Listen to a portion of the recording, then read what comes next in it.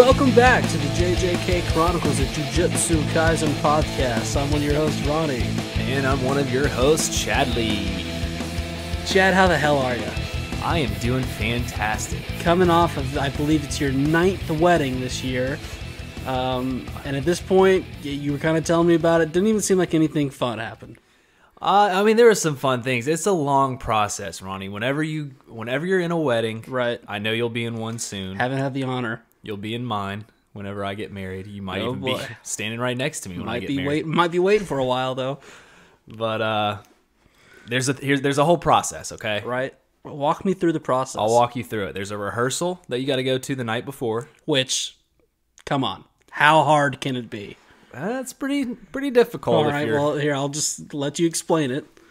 So basically, in the rehearsal, you rehearse what you're gonna do in the ceremony. So Right. you walk. They tell you who you're gonna walk with. They line you up. Hey, are we performing the theater play Wicked or are we walking into locations? We are walking into locations, but you got to know where you're going. Okay? There's a lot of old people in the wedding as well. There's grandmas, grandpas. They don't remember very well. So you walk through all of that. Then you go to a dinner afterwards. You drink at the dinner. You get drunk. You go to sleep. You got to wake up bright and early. Okay? You got a whole day ahead of you. Too much already going on. I go through the whole day waiting. Sounds like it's taking up a weekend. Keep going. waiting, taking pictures, eating, waiting, some more waiting, uh, a little bit more waiting. Did you wait that. a little bit after that? Yes. Okay. And then you finally wait one last time, Right. and it's finally ceremony time. I'm getting mad. you go through the ceremony. Luckily, the ceremony really quick, Mm-hmm. short, sweet, beautiful wedding, beautiful kiss. Beautiful wedding. Uh, made me a little, little jealous. I listen, you know, guys can be made in all shapes and sizes, and that's fine. One of the funniest things I ever heard was there's this dude who works at our the same Work. building we do, and I walked by and someone went. He asked that guy, "Oh, how was the wedding?" Now, I haven't been to a whole lot of weddings, but if I did, I would my go-tos would be like, "Oh, it was fun, it was cool," or like it was nice. Maybe I'd say it was nice this guy his eyes got really big and he just went oh it was beautiful which isn't a wrong answer but it still made me laugh Well, this wedding was beautiful. Okay, gorgeous weather. Let me tell you, 70 degrees. a nice weekend slightly bree- breezy, sunny, beautiful uh, view. I mean, just a gorgeous view. Beautiful It was beautiful. And, and then you go through that afterwards. You have fun. You get to drink, let loose. That's the best part. Is right after the ceremony. Mm-hmm. You don't have to worry about how your shirt being tucked in. yeah How your suspenders look. so you don't have to rehearse for that part You don't have to rehearse for it. You walk out. You drink some booze. You have fun with your buddies. You get rejected by a couple women, and then that's the end of the night. end of the night and another night well lived um did sound pretty boring it sounds like i was right didn't have much of a story to tell it didn't seem like Not really. I mean, besides just getting, you know, a little tipsy Mm-hmm. and getting rejected, I mean, that's about all that happened with me. well i'm glad you uh had fun question mark do you have I had fun, fun. okay great Wish women liked me more. Yeah, hey, me too. That's why. But if you could start being more likable, maybe I could game plan for being by your side that that faithful day uh, coming up here in the next probably forty years. I would say I would put it in that time range. yeah, I, that's playing it safe. A uh, little update because why the heck would we talk about the show we're covering? The lizard is no longer here. You live in an expansive penthouse. We only use the studio for recording, so therefore, uh, we last time we left off, we just walked away, closed him in here, and he's no longer on the Xbox. So I'm on high alert.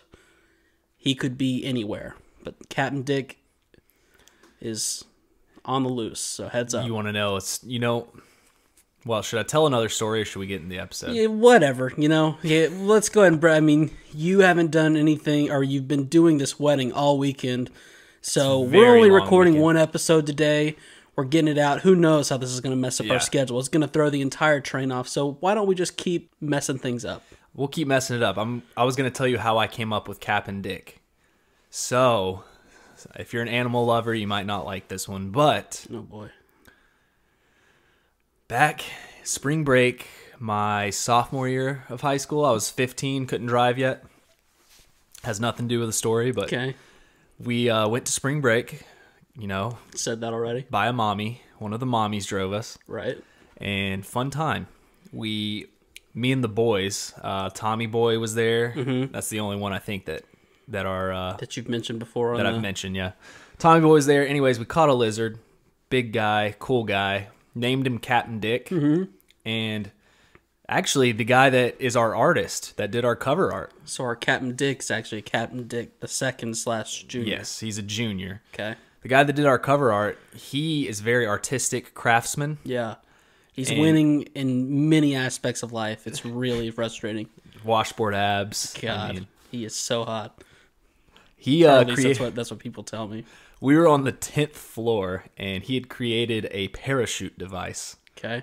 out of what I want to say paper. It was like a paper mache. Mm-hmm. We had no idea if this was going to work or not. Right. We uh, Young young men experimenting. You know. It's we put Captain Dick in this uh, harness. in this harness. Okay. We parachuted him down to the pool. It was like 10 stories up. We parachuted him all the way down, had a guy down below at the pool catch the parachute. Captain Dick stayed put the entire time. No way. He landed a 10 story parachute drop. Oh, that's awesome. Yeah. you- Good. Coolest, coolest dude ever, and we officially he was. I think his name was Dick at the time. We Yeah. were like, "Oh, that guy's Captain, Captain Dick. Dick. Yeah. Because once you go on a voyage like that, you become Yeah. a captain. Oh yeah, and Wow. I, I mean, as you know, a story like that, we slayed so much pussy. Oh that- my god, fifteen. Yeah, you guys were slaying it. Uh, you know, in the beginning when you said that you were on spring break like three times and you updated me on your driving capabilities, I wasn't sure how that story was going to end up. I'm really glad you told it. So thanks. So what do you say we talk about an episode? Uh, I guess we have to Are we take. still on Attack on Titan? You- we're not. We're covering um, Jujutsu Kaisen. Jujutsu For some Kaisen. reason, it took uh, 11 episodes for people to tell us we've been saying it wrong. That's not our fault. You know what? We've been getting a lot of flack this week. I'd like to just first, I want you to speak on it. How you feel? Yeah. I, I, I'm done. I, I get it. June Pie. I was stupid for saying it. It's June P. We've had we've learned from multiple people now what no, it actually is. it's not June P. I mean, he does pee. It's Junpei. It's Junpei, June which just come on. I mean, yeah, it's just like Let's let's uh, spell out Senpai and Junpei the same, but let's call one well, Junpei. One's an A, one's an E. It's just no, I'm not buying Uh, it. Listen, I'm with you. The thing that I'm mad about Junpei is I steered away from it. I called him Yoshino. I think I called him Junpei one time. And of course, just like everything bad in my life, I got sucked down the rabbit hole with you. And all of a sudden, it's like when Ronny says Junpei and Chad says, no, I was saying other names wrong. So give me a break. Okay. All right. We'll we'll change his name because he's going to be around for a long time. Yeah, he's gonna be. Yeah, it's good that they waited three episodes to tell us this so we could get it right, um, because he's gonna be here for a while. And then it's also uh, Mahito. Mahito. Yeah, I feel like I occasionally say that one right. Well, you said Mojito a ton in one of the last episodes, but then what's funny is at one point you tried to put some very like uh, a Japanese flair on it. You said it perfectly when I was editing last episode. So that's what it, I just need to use my Japanese flair. I haven't been using it that often. Mm-hmm. Yeah, last episodes we mispronounced about 937 different, or well, wasn't different names. It was just the same name over and over again, and then you nailed that one. So it's Mahito, right? I think so. Who- And- you know they're probably going to correct us again. Itadori. And Jujutsu. Jujutsu, which come on, if there It's it's hard to say. It's like kind of my tongue does a little hesitation move. is it Jujutsu or Jujutsu? I don't know because guess what? What you just said sounded the same exact thing to me. But what what can you really? It's Ronny and Chad. What do you people expect? So it's uh, season one, episode eleven, narrow minded. I am so excited to cover this episode. I told you this earlier in the week. I might be more hyped to do this one than I have Any uh, of them? Any of them. Okay. So we start why. off where we left off. Mahito is changing their foot back after going 17% reindeer last episode. Nanami takes off the tie. His cursed energy starts to increase. He's going into overtime. Mahito looks slightly Hey, worried. hey. Huh? When a business, a business, when a businessman goes into Well, overtime. salary man, ex salary man. Ex salary. Okay, you're right. He's an ex salary man. When you have to put an ex salary man into overtime, it's game on. Amen. Mahito looks slightly worried as he realizes that this is a classic time based pact. Hate those kind of pacts. Basic. He's been limiting his own cursed energy this whole time. And after being concerned, since Mahito is a crazy person or curse or crazy cursed person, I don't know what to call him, but one thing's for sure, he definitely is crazy. He's an individual. Because of this, they seem to think this whole situation is going to be a lot more fun. I like this guy. He just wants to have fun. It's always he's just there to have fun. And so, in case you forgot, this is the point in the episode where Nanami is going to once again explain his very complicated curse technique. Um, no worries, though. I pretty, I'm going to be honest. I pretty much held your hand a couple episodes back, nailed the explanation pretty perfectly, if I do say so myself. So we don't have to spend much time here. No, we got it. So instead of not spending much time here, I decided to tell you how well I did to kind of have my moment. Okay. Um, could you say that I did it pretty good when yeah. I did it? No, I thought you did. Thank you. Basically, he can designate any item or creature, split a section into ten. As long as he hits hits that magic seven to three ratio, he's going to do some damage. Which do you think that's a little too much? Like, come on, bro. Like, make it simpler, or you think okay? I mean, it's cool. uh, it's kind of like I guess it's kind of cool, but it, it is pretty. uh When you start talking about seven to three ratios and you're splitting things into ten equal parts, it's kind of like, all right, can you just use the thing? And you know this guy reminds me of? An ex salary man. Yeah, it's true. Mahito is now getting turned on due to techniques being revealed, but weren't we all? Yeah, Nanami is a uh, specimen. Say it, yeah. They start fighting again while Nanami considers his options as to how he could kill Mahito. He can, one, continue damaging him until he runs out of cursed energy. Now, this one to me seems like it's going to take a long time. Uh, I mean, sure, he is getting paid overtime right now, but you can't stay on the clock forever. Eventually, Yeah. HR is going to step in and kind of tell you Cut it out. to get off the books. You can't be a Larry. The second option is to reduce him to smithereens with a single blow. And I'm not thinking that one's going to work either. But if that's the two options, I mean, yeah, I say we go with that one. So Nanami punches a wall while using his ratio technique collapse. That's what he said. Mahito realizes that realizes that this is an expanded technique that imbues the destroyed target with cursed energy. So therefore Nanami punched the wall, which sent a bunch of debris all over the place that is now packed full of its own cursed energy. You following me over there? I'm following you. It's so this not only is it just a regular collapsion, mm-hmm. Because there is. is a collapsion. it's a collapsion of cursed energy. Yes, it, it, the rocks. If you were paying attention to that, the debris Yep. glowed blue with some cursed energy. So I don't know what that means. I don't know. It if when seems like it maybe makes them heavier Maybe. I'll roll with that. So due to the nature of this attack, though, since now all these rocks are flying all over the place, it also puts Nanami in danger. And after analyzing the situation, Mahito decides that it might be a good idea to dodge. That's my favorite character. He's very smart. But before he can do just that, God, you know what he needs to be like? huh? He he needs to learn from Piccolo, or Piccolo needs to learn from him. Tell Gohan to dodge. Oh yeah, yeah. That's a Dragon Ball Z reference. It is. Gohan never dodges. I'm all over it. So Nanami uses his curse or his technique and cuts off Mahito's leg. And then for some reason, after getting this extreme upper hand, immediately says he will now be retreating. And that Mahito should get that leg healed quickly. What's going on? Well, you're about to find out in 0.7 seconds. He goes on to say that if they both manage to survive, they should meet again. And right before going into the opening credits, a large piece of cursed wall topples over and lands on Mahito. There it is. so, how am I getting ready to understand? I think he he was just getting ready for that to fall on top of him, and he's like, "If you survive this, I guess I'll fight you for another day." And he dipped out. Really? Yeah, Hmm. I would That kind of disappoints me from Nanami. I don't know, man. That's I think he was injured. That's kind of why he. He was, yeah, he was weak, but it, like, there's no leg. You gotta. If all you got to do is split something into 10 and hit that 7 to 3 ratio, you got to try a little bit harder instead of. I mean, Mahito can turn into uh, a horse for crying out loud. I think he knew he was outmatched. Let's be, let's be honest. Nanami is an ex salary man. I think He's- Nanami would be pissed that you said that personally. well. I remember when you used to be a Mojito stan. Kind of seems like you We'll were say just, the name right. Kind of seems like you were just simping to the Discord because they liked him. So you're like, oh, I'll just simp to him and say that I like Uh, him too. I didn't. If you remember from episode one, I called this guy out. So you can take what you just said out of your mouth and shove it up your butthole, Mister Panda Man. Let's Where's not- Where's Panda? Hey, where's Panda?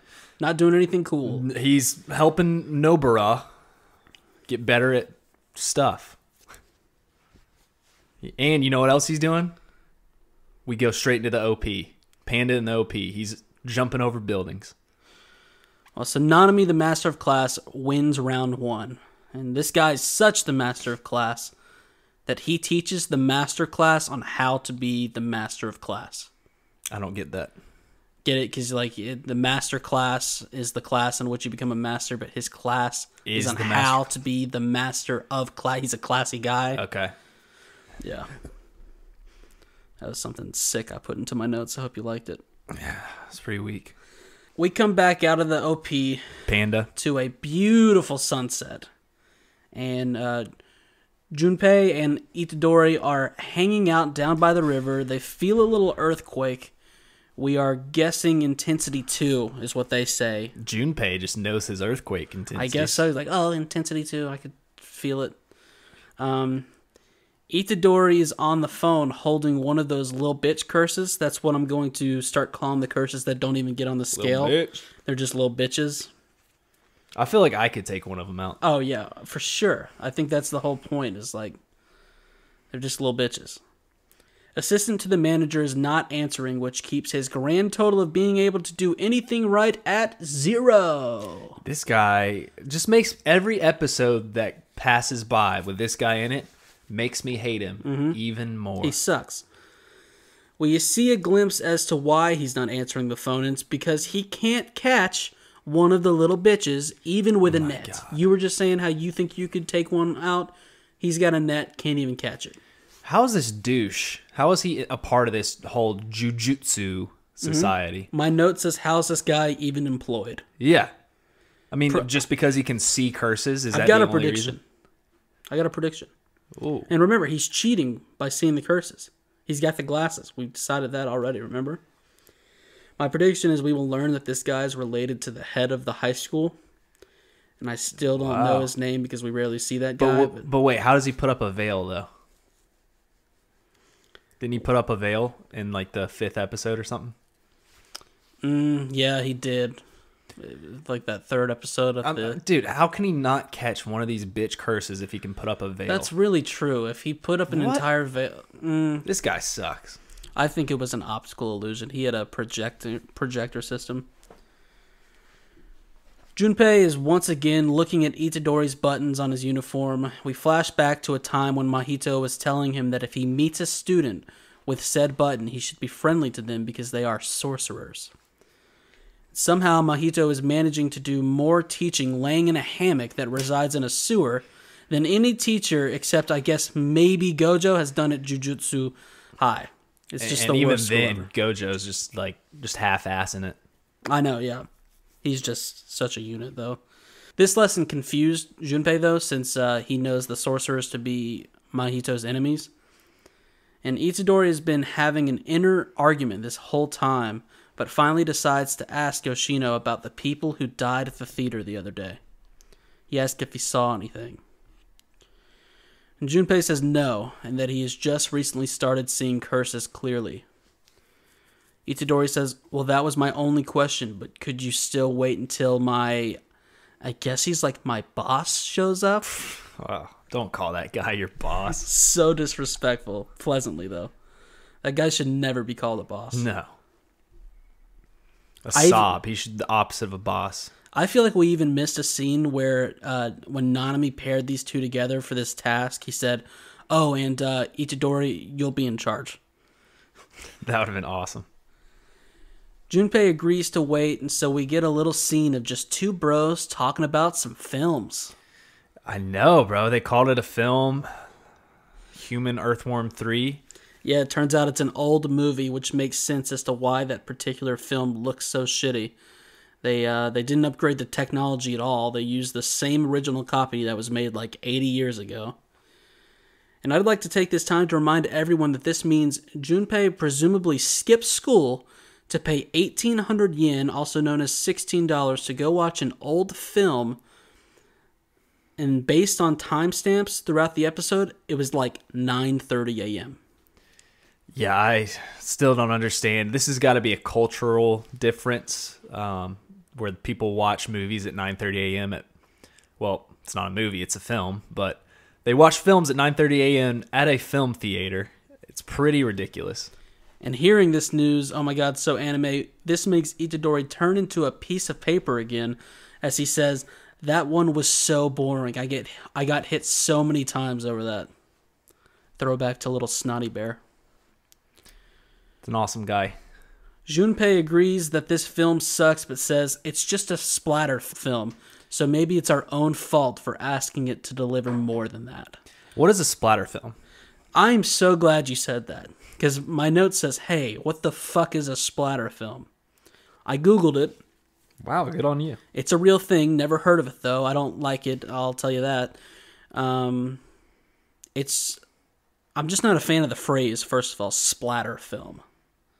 It's like you say, "Yeah, dude, let's go see this movie," and I say, "Well, first of all, it's called a film, but what is it about anyway?"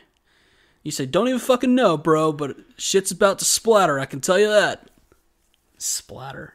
Splatter. That's a word that you would use. It's actually a pretty cool word now that you say it. It's just, uh, it's just like the gross horror movies, like the That splatter the things. every- saws and stuff. okay, so bl- a lot of blood, a lot of Yeah. organs. But I also, I also don't like. I mean, Junpei is a bit of a film critic asshole. If you know what I mean, with the whole. "Uh, maybe it's our fault for asking it to deliver more than that. No, No, a good film should be a good film. You can have a film that's good in different Yeah. ways. And if you're going at 9:30 a.m. to the film theater to watch a film, s- stop with this. Mm-hmm. You should expect a good film. Yeah, you should expect one. So they end up both agreeing that two was the better film, as we see Geto is uh, watching from afar. And just in case you thought this uh, battle between human earthworm sequels was just some throwaway conversation, they say fuck it as we proceed to see a clip from Human Earthworm 2. Didn't think we'd be here. Yeah. So I have the synopsis here. You ready? Mm-hmm. The second film was also in black and white because that's how technology works. We see a woman stabbing a bed with a uh, a tank full of earthworms nearby. They don't appear to be human earthworms yet, but just your standard earthworm. But keep an eye on them. Okay. We cut to see her breathing hard as a dark figure watches from behind. Scary. And said figure flips on the lights and surprise.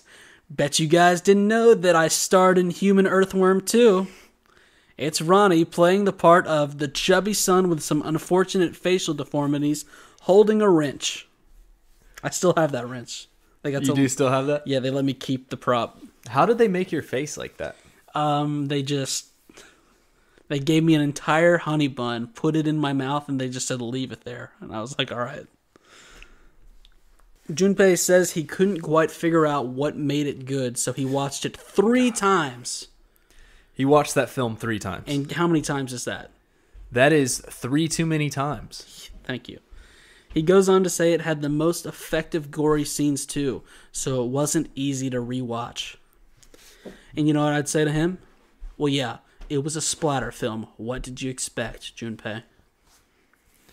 God, I, I'm not liking calling this guy Junpei. It's really grinding my gears. Itadori says he's been watching a lot of films, but not at the theater.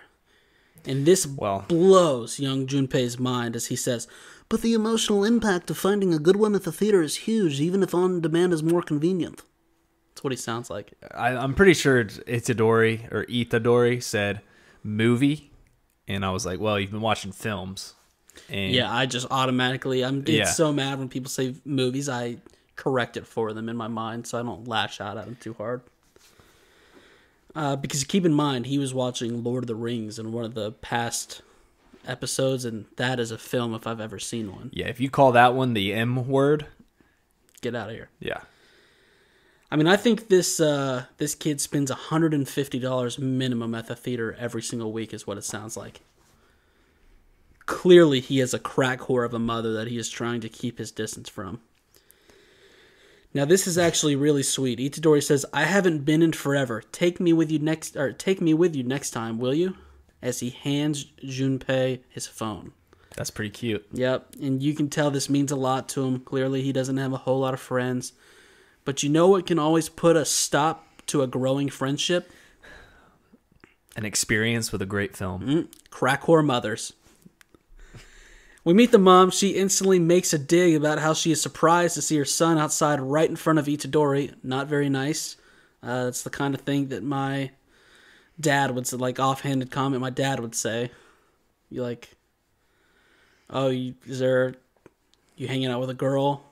And I'll say, That's a first. No, just going to record our podcast with Chad.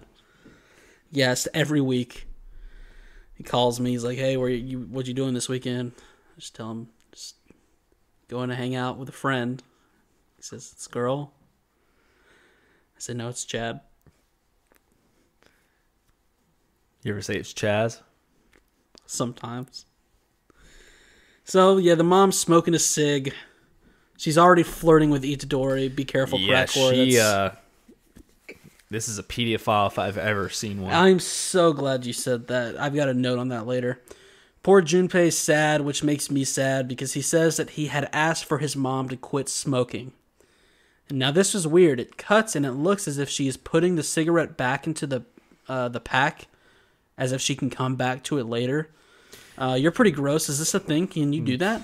Do not. That is not a thing with cigarettes. If you do that, and I'm sure the delinquents we have listening to this podcast, I'm sure there's a few of them that do that. You are disgusting.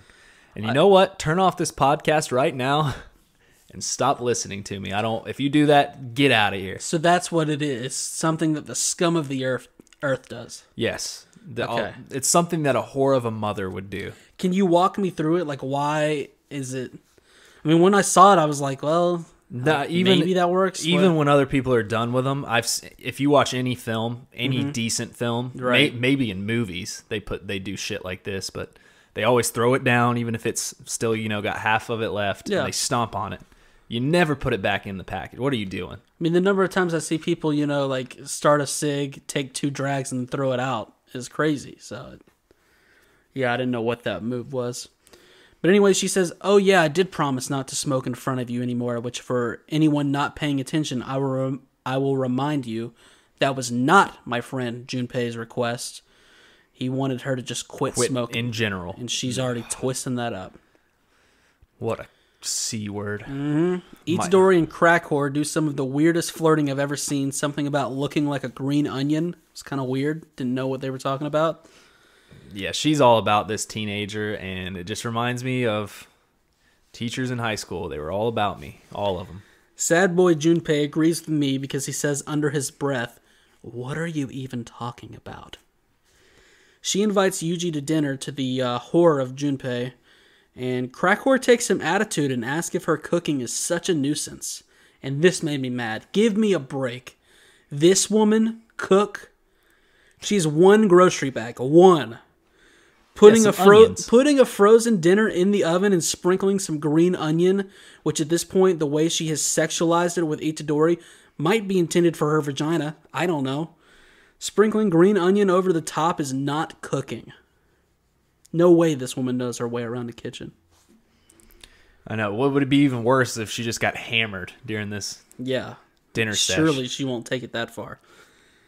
So Itadori's stomach rumbles in the most anime way ever as she asks him if she if he has any food allergies. I do. You know what I'm allergic to? What? This woman's bullshit. Thank you for asking, Chaz. We cut over to see Geto taking a look. My friend's mother's being like this was always my dream. Oh, really? Mm-hmm. Just loosey goosey. Well, some of them. You know what I mean? Never happened though. Never happened, but you know, you never when like uh you got a friend who's got a really hot mom. Like occasionally that happens. Yeah. I was always like, hey, maybe she'll grab some onions and get hammered with me on a Saturday night. I know I've told you about I've had one instance of where something like that happened. The onions or Uh, well, the hot mom. Remember I was laying on the couch and she uh she came and like touched touched my thigh. Like she I was on the couch, she came and sat on the couch, turned the TV on, touched my thigh, and I was like, What the fuck is going on? And then I totally banged her. banged her with your foot, said get off me. No, I didn't. I got super scared, just acted like I was still sleeping. I wonder, Wow. I wonder how she's doing. I wonder how she's aged. So, we cut over to see Geto taking a look at the damage Nanami left behind. As holy shit, a sock puppet looking snake crawls out from under the debris and turns out it's Mahito. This guy's full of oh, surprises. And he just loves it. He loves that he was a sock puppet right here. So much infinitely cooler than Panda. Well, not we haven't seen much of Panda. When we see him, I guarantee he's cooler than Yeah, this when guy. he turns into a sock puppet, call me up and let me know, okay? he won't have to because he'll sock puppet someone in the face. I'm pretty sure the two of them uh, talk about Nanami and the fight they had, but damn, Mahito is naked, so let's be honest, none of us know what they truly talked about. He he looks pretty good too. He's got a nice bod. There's stitches all looks over. like me. Well, there was something about uh, you're kind of like a built like a railroad, so Well, he's a skinny lad too, and I have stitches all over me for where my girl used to bite me little more everywhere. shapely. You remember that dump truck that we saw past episode? Damn. Oh yeah, I've got one of those too. So, um, oh, this was me trying to decipher their conversation. There was something about like even if Mahito is pulverized in bed with that body, he won't die as long as he maintains the shape of his soul. Yeah, that's I've always said that too. I don't know if that's a direct quote, but that's just what I had in my notes. I No, that is. He says as long as my soul is not completely, you know. when he was in a bed, right? It- Yeah. okay. He's like as long as, you know, just freaky in the sheets. What is it? Freaky in the sheetsies? What do you say? Um, well, my perfect woman is sweet in the streets, freak in the sheets. Yes, thank you. for Okay. clarifying Yeah. that. Unless you're a uh, older woman and take me by surprise in the morning, and I just don't have my wits about me. he sh- he You're shows like, don't what- move, don't move. I'm asleep. He shows off some of the different ways he can transform his body, which includes turning a finger into like a sharp dagger, as he asks Geto to get him some clothes. And Geto correctly answers, no. Good answer. So this episode was going pretty well. why, so why do you why do you think uh Geto says it like that? He does kind of say it a little seductively. Because, like I said, we were all thinking the same thing here. So, because I want to know why Geto, I think his ultimate goal Enjoying the view. is not necessarily like befriending these people and taking out Gojo or whatever, whatever his goal is. I think like he's got a thing for these pe- these curses, these Oh, really? individuals. I mean, did you not see him the way you looked at? Yeah, okay, but like there? I don't think that's you know looking at Brocano and looking at Mahito naked's two very different things. Like Yeah, but he's probably like, oh, I'll I'll blow Brocano's mind with what I can do because Brocano actually blows stuff out of his head, right, and he's like, oh yeah. yeah, that's true. Yeah, that guy can. That guy can splatter from all sorts of different directions. That he would create an ultimate splatter film. So this episode was going pretty well, so why not ruin it with an assistant to the manager scene? He's sweating bullets just from hearing the news that Itadori is going to dinner. He says if anything odd happens to run away, which is literally the only advice I've heard this guy give over like the last 10 episodes. He said the same exact thing at the Juvie Center. Run away. What a teacher. Run away from me, baby. Wonder how many years of college he had to go to to figure that out. He hangs up and continues to think to himself that this is a huge blunder on his part as a supervisor. No shit. He thinks Gojo might not care, but fears the chewing out he will get from the adult of adults, Nanami. Love, that's a good line. if he were to learn of assistant to the manager's incompetence, he would surely, you know, get a chewing out. He doesn't want to cry in front of people his own age. So the thought of that lights a uh, fire under his ass as he starts the car and screams, as you said, "Hurry up! You don't want to cry in front of others your age, do you?" There is nothing more bitch in this world than saying that line. oh my there. god, Nothing more bitch. I'll cry in front of whoever. I'm not Yeah. scared. And I'm not gonna cry in front of somebody because I'm a fucking terrible supervisor and don't know how Yeah. to do my job. I'll tell you this: if I'm getting ready to cry, I'm not taking a, uh, a look at the room and being like, "Okay, is there anyone my age here?" Because as long as they're under 25, I'm okay. And if they are my age, come here, brother. Give me a Yeah. hug. The number of times me and you have just, you know, dark roomed it, Yeah. gotten close to each other, Watching a been great a shoulder film. to cry on, watched a film, and just let a few tears out. It's God, we- healthy. We cried so hard at Marley and me. Well, how could you not? When the dog gets old and dies. The dog dies. It's fucking so- Owen Wilson put in a one hell of a performance. I believe Jennifer Aniston co-starred in that film. I think it was Jennifer in that film. Love her work. Owen Wilson really knows how to do a good job. Yeah, yeah, yeah. That guy knows his ways around a film set. He never knows what that guy's gonna get up to. uh, moving on. What was I talking about? So just then Nanami calls. We see him in a bathroom around a bloody sink. He's cleaning one of his wounds near. He's taken off these ridiculous goggles, and we see just how staggeringly handsome the man is. These goggles really do hide how handsome he is. I told you, dude. He's got a beautiful face. He's. And I mean that in the most non uh, sexual way Yeah. I could even say. I just mean it in the same way I said it. Staggering. Yeah, great facial features, was uh, taken wonderful aback. structure. He says he's going back to Jujutsu High to receive treatment. Nanami hangs up and thinks back to his fight with Mahito. He thinks that cursed spirit is a child. It probably hasn't been very long since he sprang into being, and he's greedily enjoying his own growth, which is Wait, super yeah. interesting. And he's pretty spot on if you have paid attention to the personality of Mahito. Yeah. Also, everyone is a child compared to Nanami because he's the adult of adult adults. of adults. He goes on. The curse that Gojo fought, also known as uh, Brocano, has mastered his domain expansion. It won't be long before Mahito reaches that stage too, and that just gets me excited to know what mm-hmm. his domain expansion will be. Nanami decides they need to kill Mahito before it is too late, to which I can't help but wonder why he didn't try a little harder to do that after he cut his leg off. because he was injured. Did you not just see him bleeding in the sink? Who am I to question the adult of adults? You got the upper hand. Just put a little effort. Come on. Mahito's just better than him, dude. Remember, our boy Nanami, he is the adult of adults, but he never mastered a domain expansion. He's not the greatest of sorcerers.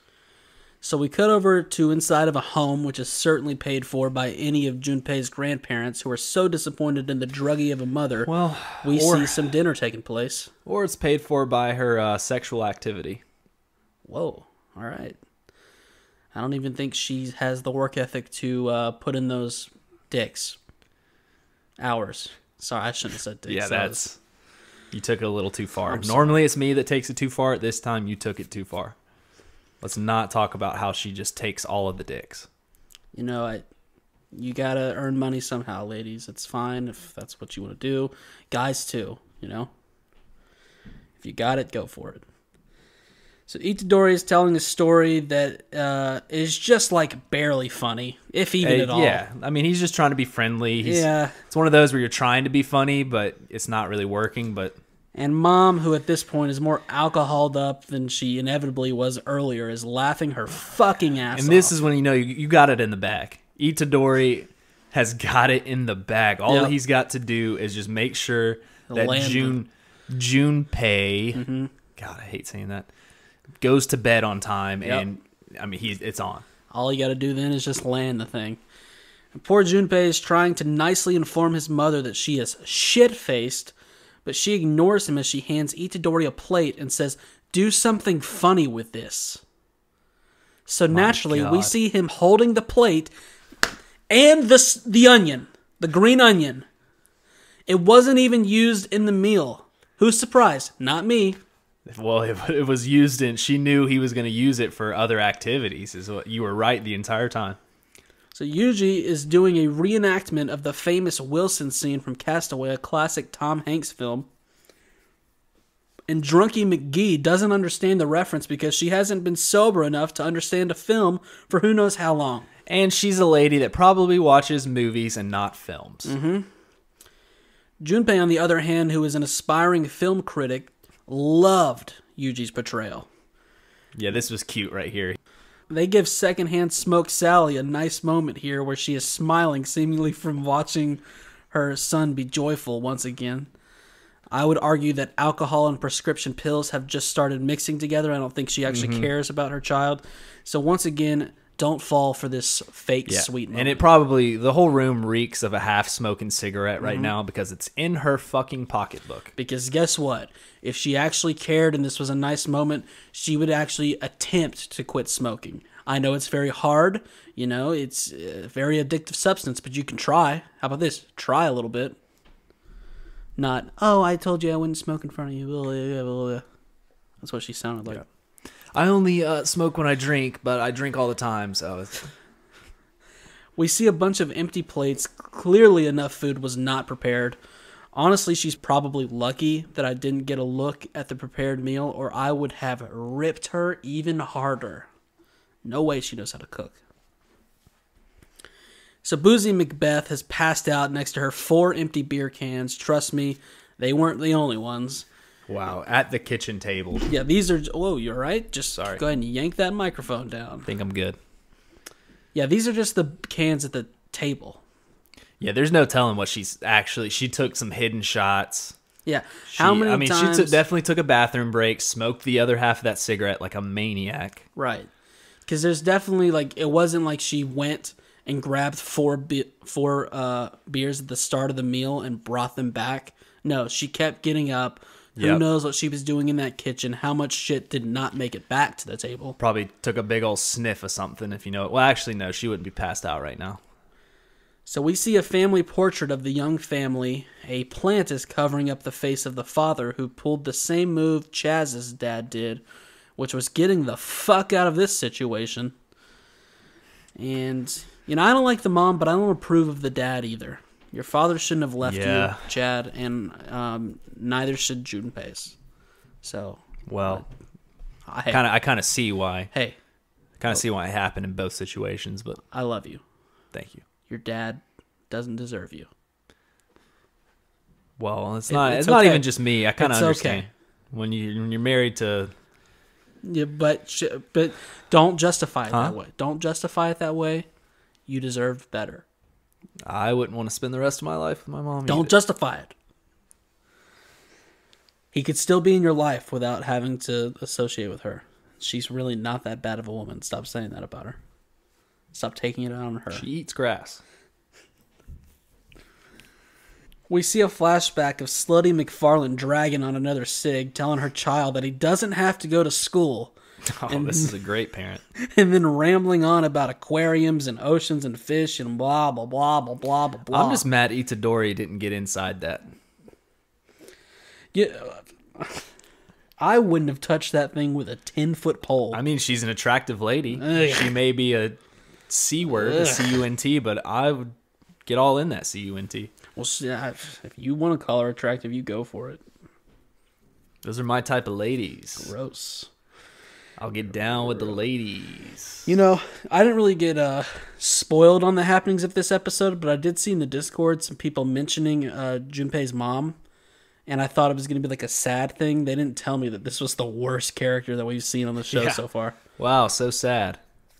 Crack whore mother passes away.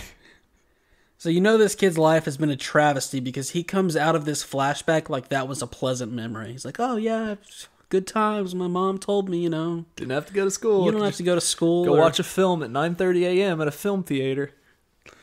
Here's half the money I made last night. That's how much it's going to cost to get into the 9:30 showing of Human Earthworm 3.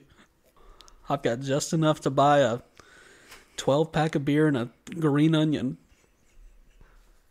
So he asked Yuji what his mom was like, and he says he never met her and only has a few faint memories of his father, but his grandpa was there for him. And Itadori gets a call from assistant to the manager. After he hangs up, Junpei confirms that Yuji is a jujutsu, sor- jujutsu sorcerer. God, what a stupid. God. He says yes. And Hey, uh, uh, excuse me, Roddy and Chad. It's actually pronounced jujutsu sorcerers. It's not jujitsu. God, these guys don't know what they're talking about. it's just hard to say. It you is know? so hard to say. I, I feel like I hiccup in the middle God, of sorry we don't have 45 minutes of, of It. Is it our ju- day each day of the week to practice in the mirror. Jujutsu? I think it's that. Jujutsu? No, it's what the first one you just said. That one's the harder one, though. I know. That's what I said, dude. They pra- the people that tell us what it is, they have to practice it 45 minutes each day just to say it right. Uh, It'd be nice, you know? No, I'm not going to be nice. Just s- My tongue is not that developed, okay? I don't have that talent to do We just. Trust me. We haven't got to use it all. I've heard it a million times. I have terrible talents with my tongue. Yeah. Other than talking, where else would we use a tongue? It's just. Haven't got a whole lot of chances. I've used it on other things. They say stop. You suck at it. Which makes for really awkward. Awkward times. They're like, just use your teeth. I'm like, what? Yeah, they're like. That's not. They're like. They say, yes, that's not how you eat an ice cream cone. Yeah. Whatever. I say thank you, ma'am. So, give uh, Junpei an inch. He'll take a mile. He asks, "Have you ever killed someone?" Um, there's a red flag. Itadori says no. Junpei says, "But someday you'll have to fight bad sorcerers, right? What will you do then?" Kill 'em. Itadori says, "I still wouldn't want to kill them." Junpei says, "Why not? They're bad people." Second red flag. Yeah, this guy's a little worrisome. But it's understandable because have you seen his mother? Seriously. Itadori says, because I feel like if I kill someone, the option of killing will enter its way into my life. This is basically qu- quote of the week stuff right here. Hold on to your britches. The value of life would become diminished. I wouldn't even understand the importance of those I care about anymore. And that scares me. Ooh. Oh, really? That's your take? That beautiful, that beautiful. Did you like that? Oof. That's uh, you know what that is? That's me thinking about that quote late at night with the wind blowing. The wind Moon. blowing. Late at night, wind blowing, moon, a full lit moon. And you hear that noise and you're just thinking of that quote. No, that's you blowing out Bullshit. marijuana. Later that night, lying in bed, Junpei thinks to himself, people don't have hearts. Okay? That idea saved me. It gave me strength. But if killing someone would mean tainting my soul, then I can't kill anyone. Good. Okay, he's learning. Whoa. this guy's learning. That was deep. Yeah. He's gonna end up being really good. So we cut over, pop them pills. Paula wakes up from the dinner table. We see at least two more beer cans on the coffee table. Her first thought is, Did Yuji go home already? Ah, she blew it. You already said it, but this is where I said, because in case you didn't catch up on the vibes that was going on, this woman is a pediophile. She is, and Itadori blew it. You cannot let a lady get that hammered. You gotta give her a white substance, keep her up. You know, make Oh, sure she's God. conscious. She knows what she's Uh, doing. no, hey, no one listen to this. This is not sponsored by the Podcast Chronicles. It's just terrible. Don't don't say that. well, uh, he blew. Moving on. Screw the pooch. Women pedophiles exist too. Don't let them be forgotten. Yes, She has the thought, gosh, it's this late. I need to clean up. Which is going to do about the same amount of good as me thinking, gosh, I've already eaten half this pizza. I should not eat this second half. Spoiler alert. I always eat the second half. She never cleans up. Just then, she picks up a phalange that has been sitting on the table as Where did a- this thing come from? Just phalangeed its way over there. I mean, how do I do? First of all, it's a gross phalange. Do you notice that it's got like a big Yeah. knob on the end of it or something? Like we got some hand on this thing too. It's a little cancerous phalange. And uh, just as oh wow, literally don't know how to describe this thing, but I'll try. A green monster with big lips, uh, some Harley Quinn hair, and maybe 16 boobs. I don't know for sure that that's what they are, but these lumps like are in the same vicinity that you would look if you were on the search for some boobs. And also, it appears this was the part that really got me. Has like six human arms sprouting from God knows what below it. Could you figure that out? Did you even No. watch this episode? I don't know. Yeah, I, I mean, I don't know the boob, the whole boob thing. I am always in search for boobs. I usually, when I bring somebody home from a bar, Mm-hmm. I go and search for boobs, and I realize, wow, these they don't have boobs. Is this a guy? These are and some pretty strong pectoral muscles. And, Yeah. And then you go, oh, and then you kind of look up and you go, oh, hey, Frank. So we go to the calling card, and afterwards we see a t- afterwards we see a timestamp that says after the incident. I'm not even going to attempt the high school, which I'm assuming is referring to the theater event. It's like after the incident at such and such high school. Is that what you thought it was? I guess some of these like you kind of scurved or, or uh, swerved out of the way of the answer earlier. Did you watch this episode? as I was saying, yeah, some of these like things are kind of confusing. Okay, find where I'm at here. The narr- the narrator says, "We discover the corpse of Deep Sleep Sally, mother of Junpei, at their home, along with an unsealed Sukuna's finger. His it belonged to the second left arm's pinky finger. I like how they were able to to determine that it was the second left arm. Yeah. Wow, what an unimportant phalange. You're like, well, it's either the first or I think this is the second arm. It goes on. We believe the mom of the year was attacked by cursed spirits drow- drawn to Sukuna's finger.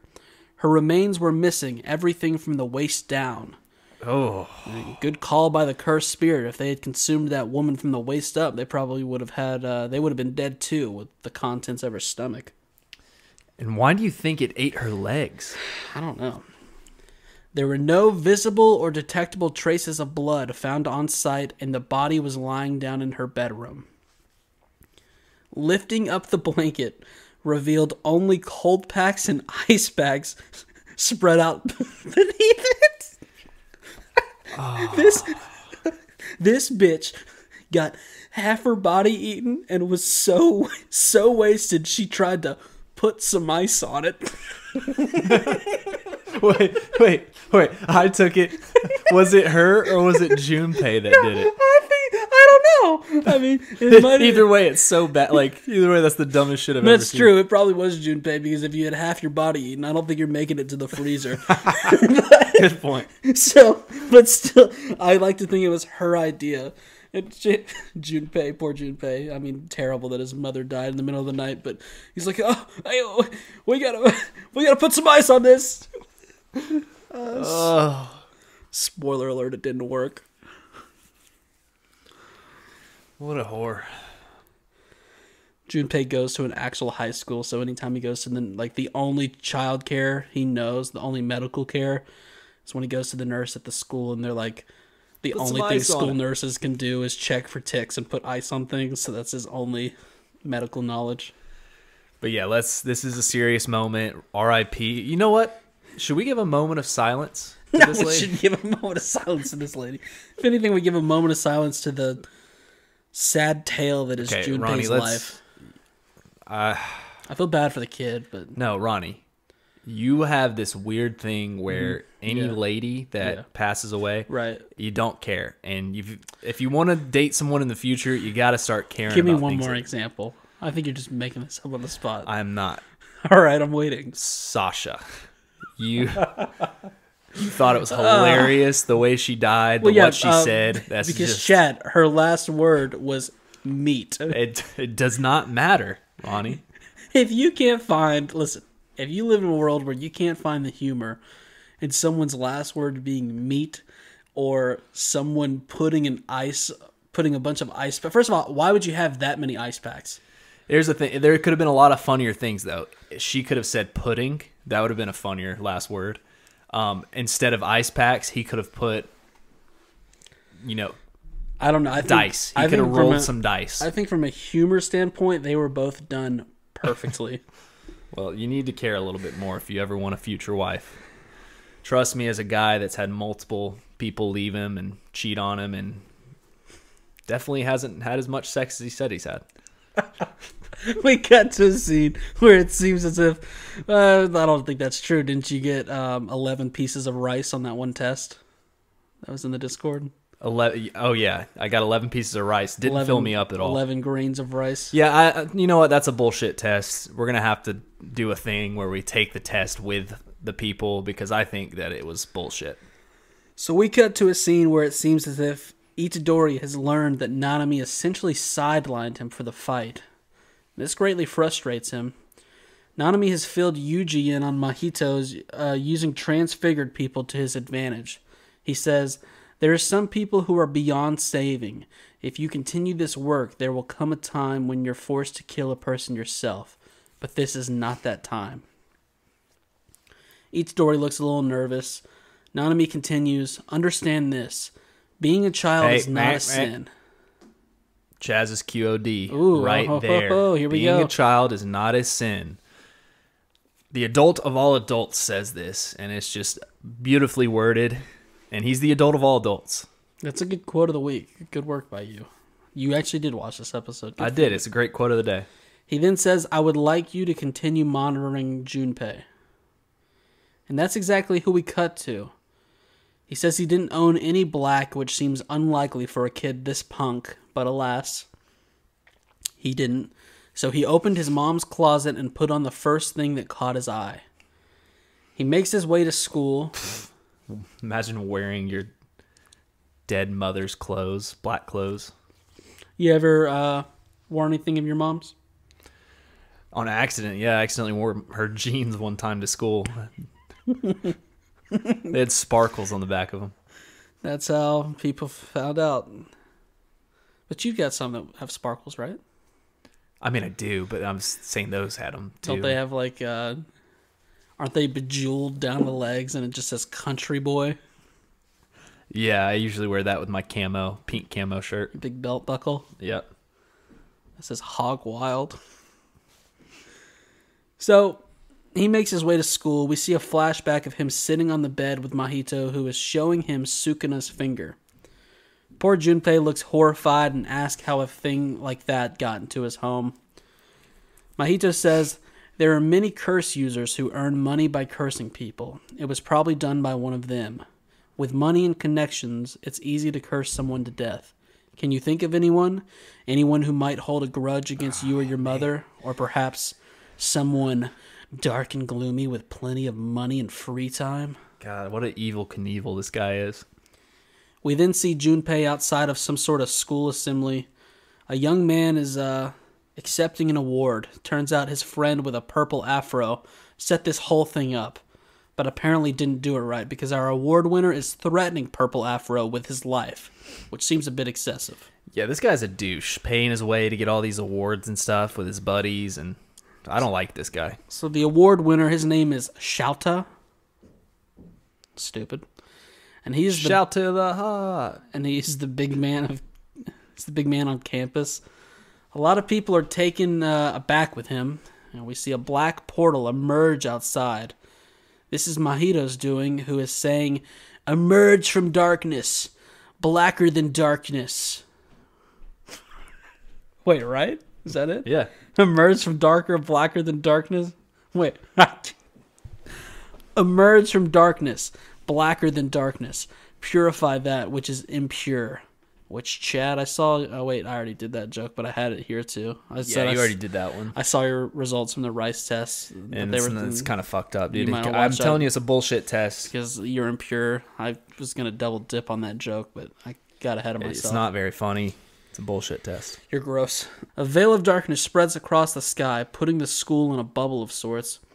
Geto, who is also here, says thanks because he can't afford to leave any residuals of himself behind. Huh? You know what that means? I bet he's left a lot of residuals behind inside of Mahito. Mahito says the veil effects cause them to not be able to escape from inside. Some can enter from outside, but only those with weak cursed energy. It's an unannounced veil in a residential area. Geto says the windows will report it right away. I do not know what they're talking about here. Yeah, I don't either. And his name's Geto. It's pretty ghetto of him. He goes on, I hope this plays out as you believe it will. Mahito says, I believe it will. The general course was already set once Junpei landed Sukuna's vessel. I'll cause the two of them to clash and force Itadori into a pact giving Sukuna dominance. So, what does this mean, Chaz? As I feel your attention wandering away. This means that once Junpei and Itadori clash, he'll make it to where Itadori's got to no, basically about the about the finger, about the finger. about the finger. Yeah. Oh, it was set up by Mahito and Dun, dun, dun. Geto. but yeah, but basically their whole goal is to force Sukuna and Itadori into a strange pact to where Sukuna has way more control over Itadori's body, but as we know, a pact has already been made. Mahito said, asked if Geto was okay with this since the finger was a precious resource. Geto says it's fine. He's hoping to have Jujutsu High retrieve the one they placed at Junpei's Junpei? Junpei's home. So these guys are behind all this wildness. Geto leaves, and Mahito says he's going to miss all the fun watching foolish kids die. That's my guy. Yeah. Wow, you you stands of Mahito. I'm not worried about y'all at all. Cut inside to a bunch of dead looking kids. Sweaty teacher from last episode is the only one up and about. He's freaking out, telling kids to get a grip. This guy is just as bad as the assistant to the manager. Clearly, he's prepared for something like this.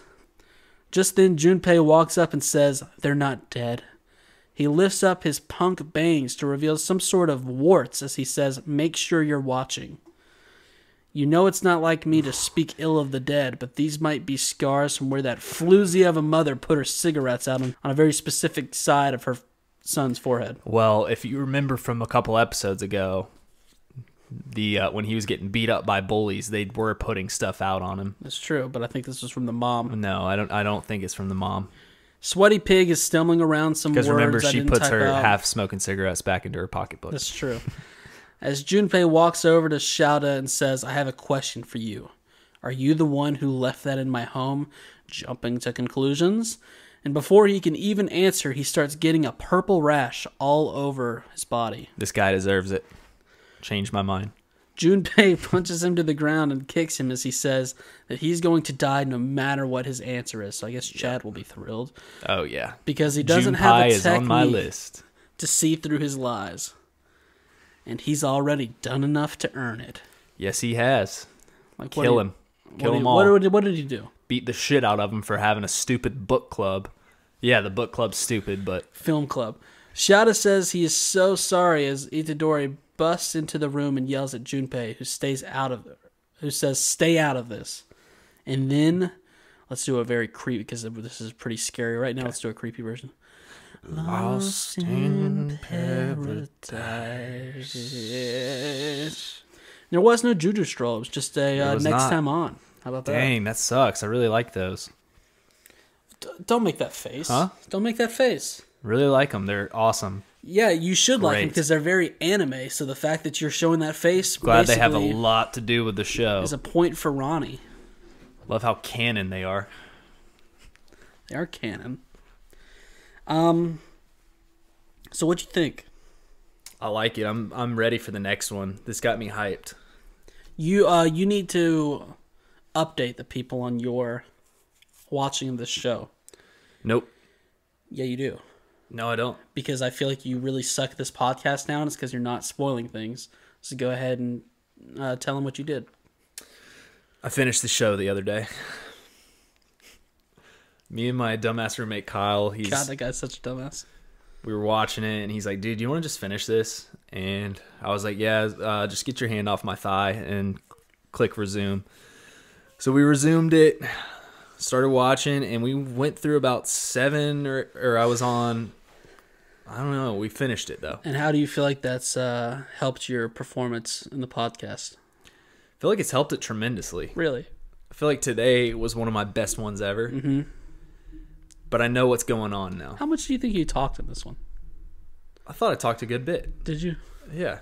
I don't know. You know, I'm just always I've had so in- worse. I'm always so in the mood. You've definitely had worse. I'll tell. I definitely talked more than you did last episode. I will. That's You just not true. God awful last one. Just so not true.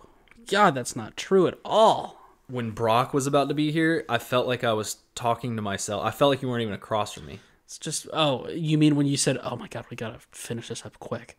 Nope. So just. But guess what? Did you edit it? Did you edit it? Do you even know? No, you don't. No. I had so you know, many great sucks, man. The amount of feedback I got saying like, "Wow, this was the worst episode you guys have done yet," but Ronny had a lot of good uh, takes to add. You know, it's crazy. My I have these in-depth intellectual talks that somehow just get edited out most of the time. Mm-hmm. Oh, really? You think? Yeah. Yeah, that I might have to start posting them separately. Yeah, I think you should. I think you should start taking extra time. I think because that's something you'll do. Yeah, you'll take definitely will. extra time to focus, get your words together for an in-depth intellectual talk, as you say, and post them elsewhere. That's something you'll totally do. No, I'm very. Look at me. I'm shaking in my boots. that Cha- that's you know what. I'll call it? Chaz's intellectual enchantments of the day. Oh wow! Still going back to that enchantment segment. That's literally happened one and a half times. We've got a question from uh, another name I don't know how to say. Rublock, Rublack, Rublake. He says, "Hey, Chad and Ronny. Don't like how you put your What's name. up? fir- I don't like how you put it, your name first. I started listening to you guys a while back ago, and uh, I love your guys' dynamic. Thanks, man. Thanks, brother. I got a question. Uh, what is something you would suggest to have slash prepare for in a podcast? I bought a mic and want to start my own. Well, perfect. You ask me and Mm-hmm. not Ronny. I prepare probably the most out of any podcaster that's ever existed. I would say you just need to get your mind right. Drink some coffee beforehand. Um, have a Celsius on you. Do some meditating. I usually meditate about 15 to 20 minutes right before this podcast session.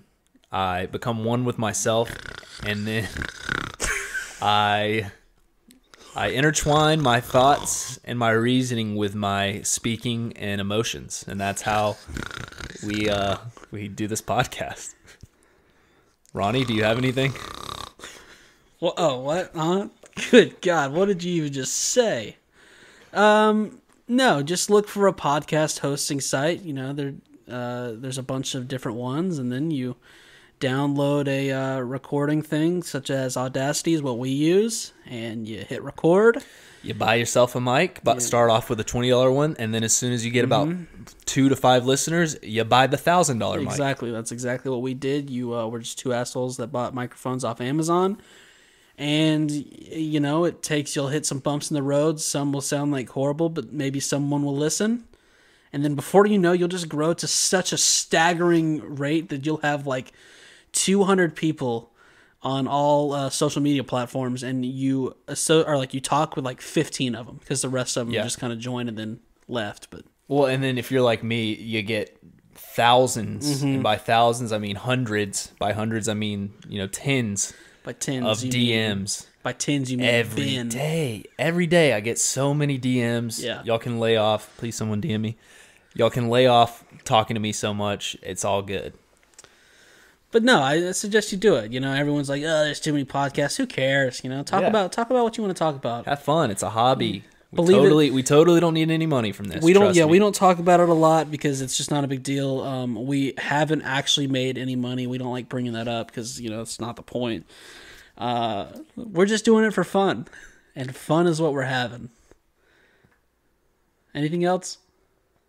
No. That's I think you hit it right on the head. I will say this real quick since um we're only doing one episode today. I was gonna save it for next episode, but considering you just came with absolutely nothing as I've far as wedding weekend. stories, oh my god, here we all were excited, like, oh wow, Chad's going to another wedding. There's no telling what kind of crazy shenanigans he's going to get up to, and then he's going to come back and be like, oh well, yes. Uh, it turns out it takes all weekend. You get dressed, you take some pictures, you eat some food, um, and then you have like a good time because there's like open bars, and so you just drink something, and that's basically all that happened. And also, I got my um, uh, dick slapped by a couple guys because the girls didn't want to talk to me.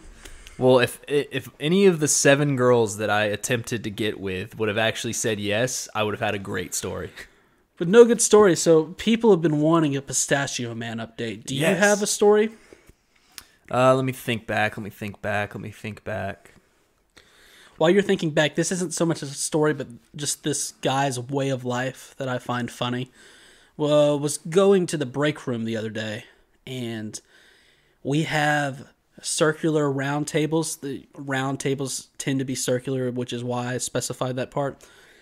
And he, you can usually fit five to six people at these tables. He had a table all to himself with just shit spread everywhere.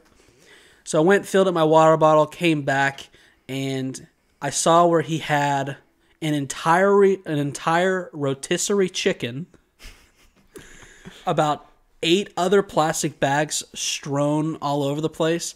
He had another plate that he was currently eating off of, and the weirdest part that I saw, he had an entire bushel. Like, and when I say bushel, I mean he had a bushel of herbs that you would have needed two hands to pick up all of them. And as I walked by, he grabbed it, tore some off, like a big handful off, to the point where it sounds like if you were, I don't know, like picking weeds, like Yeah. just where you hear like 800 things shred, and then he just threw that on his plate and kept going to town. God, this guy, he rips. And I'll tell just a little. This is kind of his lifestyle too in the mornings. Okay, when you get there, if I show up about 7 a.m., I go to the bathroom sometimes, you know, right when I get there. I've got a small bladder. I walk in and I'm going to take a piss, and I just hear. And this man is blaring. He's in the showers in the mm-hmm. bathroom. He is just blaring Yeah. dance music as loud as possible at 7 a.m. He literally has a boombox. We're Yes, not he, kidding. it's he the, brings the boombox. the largest boombox I've ever seen in my life. It'll shake the entire building.